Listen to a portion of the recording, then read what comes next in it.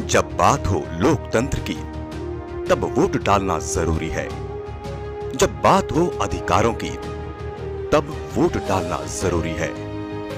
जब बात हो कर्तव्यों की, तब वोट डालना ज़रूरी है।